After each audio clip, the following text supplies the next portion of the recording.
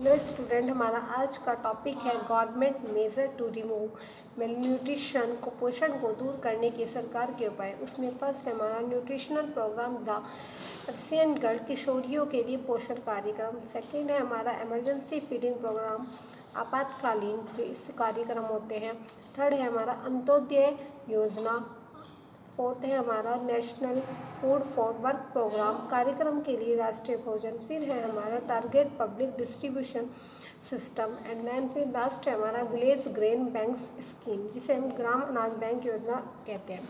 First है हमारा इसमें जो हम देखते हैं कि न्यूट्रिशनल प्रोग्राम क्या है, जो एबसेंट गर्ल्स होती हैं, किशोरियों के लिए जो पोषण कार्यक्रम है, वो क्या है, जो एडल्ट होती हैं गर्ल्स उनमें कि प्रधानमंत्री के स्वतंत्र दिवस पर 2001 के भाषण के अनुपालन में योजना आयोग द्वारा एक पायलट परियोजना प्रारंभ की गई है। क्या की गई है? एक योजना आयोग होता है जो हमारा, जिसका नाम क्या था? पहले नीति आयोग था और एक जनवरी क्या हुआ? 2015 से इसको बदल दिया गया है। इसका नाम योजना आयोग कर दिया गया है। इसके अंतर्गत प्रत्येक बड़े राज्य के दो सर्वाधिक पिछड़े जिलों तथा शेष छोटे राज्यों संघ शासित प्रदेशों के सबसे अधिक जनसंख्या वाले जिलों में कुपोषण से पीड़ित किशोरियों गर्भवती तथा दूध पिलाने वाली माताओं के चिन्हित परिवार को छः किलोग्राम प्रति व्यक्ति की दर से खाद्यान्न उपलब्ध कराया जाएगा। कि क्या होगा? जो लेडीज़ न्यूबॉर्न बेबी को क्या करती हैं? फीडिंग का वर्क करती हैं। उनको क्या किया जाएगा?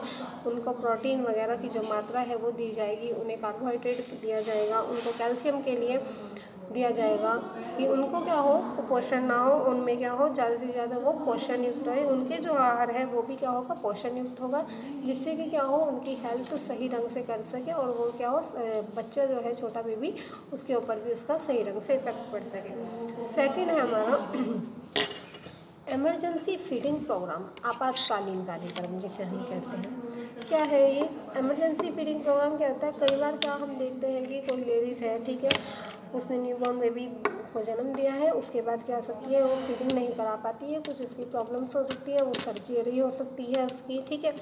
तो उसमें क्या होता है, कुछ अदर्स लेडीज़ को बुलाया जाता है, जिसके लिए एमरजेंसी फीडिंग प्रोग्राम की एकदम से क्या करना पड़े, उसके क्योंकि बच्चा जो होता है छोटा, उसे फीडिंग की ज़रूरत होती है। तो यहाँ पे बताया कि आपात आहार योजना गरीबी रेखा से नीचे रहने वाले परिवारों के जैसे वृद्ध हैं जो हमारे जो अक्षम हैं तथा बेसारा लोगों को विपत्ति के समय भोजन मुहैया कराने की एक खाद्य आपत्ति पहल है। यह योजना क्या की गई है? 2001 से प्रारंभ की गई है, जिसके अंतर्गत क्या होगा? जो लेडीज़ें हैं, जो आपातकालीन कार्यक्रम चला रही हैं, उन्हें क्या हो सके? वो सही तरह से फीडिंग करा सके, सही तरह से क्या हो सके? उनका पालन पोषण हो सके जिसके द्वारा क्या है, जो बच्चा है उसकी हेल्थ के ऊपर उसको पोषण मिले और जो स्त्रियाँ हैं, उनको भी क्या हो गए पोषण मिले। फिर है अंत्योदय अन्न योजना अंत्योदय अन्न योजना भी बहुत जो है सरकार द्वारा चलाई गई, बहुत अच्छी प्लानिंग एक योजना है प्रोग्राम है, जिसके अंतर्गत बताया गया है कि लक्षित कि लक्षित सार्वजनिक वितरण प्रणाली को प्रभावी बनाने के लिए। लक्षित मतलब ये टारगेट है कि हमारा इतना हमें करना ही है। कि लक्ष्य सार्वजनिक वितरण प्रणाली को प्रभावी बनाने के लिए सरकार द्वारा निर्धनों में भी निर्धनतम व्यक्ति के लिए, जो निर्धन है, उनमें भी जो निर्धनतम है, ठीक है? 25 दिसंबर 2002 को 25 दिसंबर को क्या है, ये अंत्योदय योजना जो है 2000 में स्टार्ट की गई है। अन्य योजना की शुरुआत की गई है। इस योजना के अंतर्गत प्रत्येक पात्र परिवार के दो रुपये प्रति किलोग्राम गेहूँ क्या कि दो रुपये प्रति किलोग्राम तो गेहूँ तथा तीन रुपये प्रति किलोग्राम चावल की अत्यधिक रियायती दर पर 25 किलोग्राम तक का क्या होगा, खाना उपलब्ध कराया जाएगा। जिनके पास क्या है, जो गरीबी रेखा से नीचे हैं, जिनके एपीएल के कार्ड होते हैं, वो इन सब में आते हैं।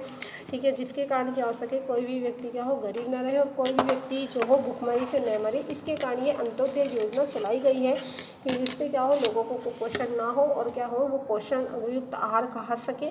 कम से कम कि वही कि जीवन जीने के लिए जिन चीज़ों की ज़रूरत होती है, उसमें सबसे ज़्यादा ज़रूरी यही होता है। तो इसलिए क्या हुआ, इस योजना का प्रारंभ किया गया।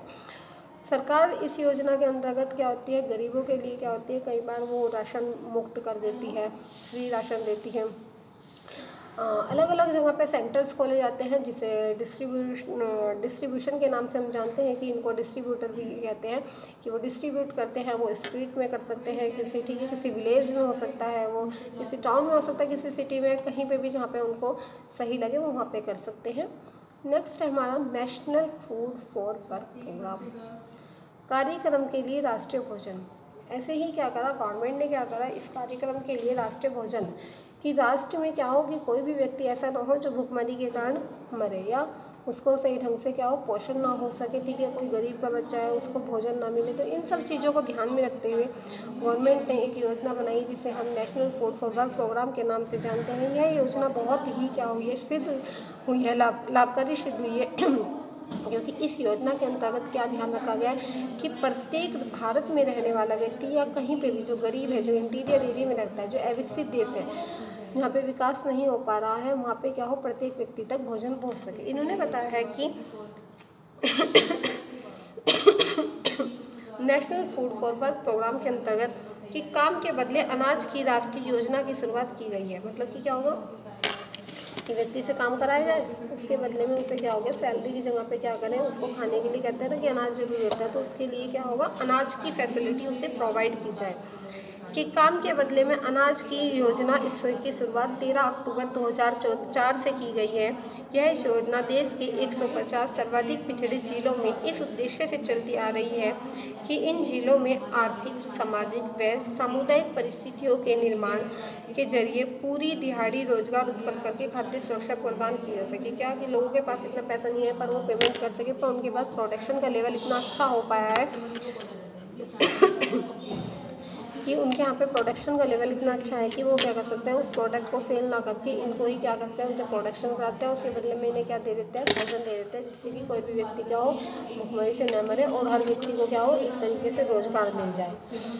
फिर बात करते हैं। हम। हमारा है टारगेटेड पब्लिक डिस्ट्रीब्यूशन सिस्टम जिसे हम लक्षित सार्वजनिक वितरण प्रणाली सार्वजनिक वितरण प्रणाली के नाम से भी जानते हैं। यह भी बहुत इंपॉर्टेंट बताया गया है कि यह क्या है कि लक्षित कि एक टारगेट सिद्ध कर दिया कि क्या होगा कि पब्लिक डिस्ट्रीब्यूशन हो। ठीक है पब्लिक डिस्ट्रीब्यूशन में जैसे आप देखते हो कि राशन की जो शॉप होती हैं वो भी इसके अंतर्गत आती है। कि लोगों को क्या हो गेहूँ चावल जो छोटी छोटी चीज़ें हैं जिनके बिना वो नहीं रह सकते उस टाइप की उन्हें चीज़ें मिल जाएँ जिससे कि उन्हें फ़ायदा हो जाए। गरीबी की रेखा से नीचे रहने वाले परिवारों को खाद्यान्न की न्यूनतम मात्रा की उपलब्धता सुनिश्चित कराने के उद्देश्य से सरकार ने 1997 में लक्षित सार्वजनिक वितरण प्रणाली की शुरुआत की है। कब है? 1997 में इसकी स्टार्टिंग की है। तब से ये आगे प्रोग्रेस में है और इसको क्या हुआ है? काफ़ी इससे बेनिफिट हुआ है लोगों को। इसके अंतर्गत देश के लगभग छः करोड़ निर्धन परिवारों को क्या हुआ है? प्रॉफिट मिला है, मैं बता रही हूँ। इन परिवारों को क्या होगा? किलोग्राम खाद्यान्न प्रति परिवार प्रति माह की दर से प्रतिवर्ष बहत्तर लाख टन उपलब्ध किया जाता है। कितना? सेवेंटी टू लाख टन इन्हें उपलब्ध कराया जाता है, जिसमें एक टारगेट रखा गया है कि हमें क्या हो गवर्नमेंट के द्वारा कि हमें इतना भोजन तो देना ही है, जिससे क्या हो सके, कोई भी व्यक्ति क्या हो, बेरोजगार ना हो हर व्यक्ति के पास रोज़गार हो। फिर है हमारा विलेज ग्रेन बैंक जिसे हम ग्राम अनाज बैंक योजना के नाम से जानते हैं।